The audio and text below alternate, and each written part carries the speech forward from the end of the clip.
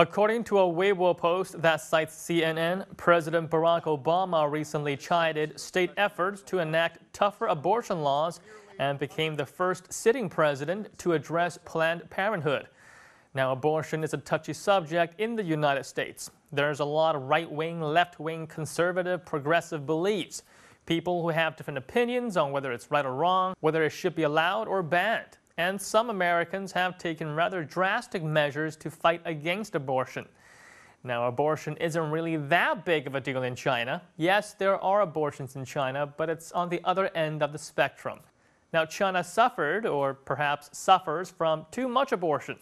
But firstly, when Chinese Weibo users heard that President Obama was standing up for Planned Parenthood, many were eager to throw in their two cents. Now, some applauded the move as being bold and brave, characteristics of the Obama administration, while others felt that pro choice should definitely be a part of basic human rights, something that many also hoped will be implemented in China. Let's take a look at some Weibo comments. I never thought Obama would just come out and say it. I thought American presidents avoided touching on really controversial topics. I guess Obama doesn't have to worry about running for another term, so he's not too worried about offending people. Unbelievable! Abortion violates fundamental principles of human rights. I thought the Americans were guards of human rights. Seems like times have changed. This new policy seems to protect the rights of women.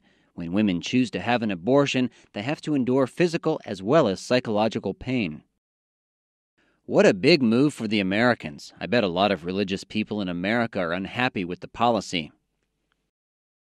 Obama would never do this if he was still serving his first term. There are too many people that are against abortion, but now he doesn't need to worry about how that might influence his political career. Maybe Obama just wanted to get more female supporters. China's draconian enforcement of the one child policy has raised human rights concerns in some Western countries, like the United States. However, there are signs that the one child policy might be coming to an end. According to Reuters, the policy, which was implemented in 1980 alongside reforms that have led to rapid economic expansion, is increasingly being seen as an impediment to growth and the harbinger of social problems. China's current labor force is at about 930 million and is expected to start declining in 2025 at a rate of about 10 million a year. Meanwhile, China's elderly population will hit 360 million by 2030 from about its current level at 200 million. Economists say that the one child policy is also responsible for China's high savings rate since it takes a lot more money for one child to take care of two elderly parents or four elderly parents if they're married. Expectations by some experts are that China will gradually allow couples to start having two children. However, during a work report by previous Chinese President Hu Jintao to the Communist Party Congress stated that the country will maintain a low birth rate. So how do Weibo users feel about abortion? Is it a moral issue or an economic factor? Well, let's take a look at a few more comments. This shows great respect for human rights. Women should have the freedom to get an abortion if they want it. I know that abortions are prohibited by many Western countries, but I believe in choice. This policy is reasonable. I have always thought that the Obama administration represents the middle class. Many people will welcome and support this policy. Abortion and gun control are policies that are hard to accept for people in the American South.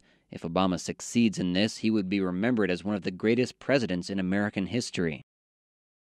I agree with the idea that women should be free to choose if they want an abortion or not, but on the other hand, women should be cautious about abortions, which can be very dangerous.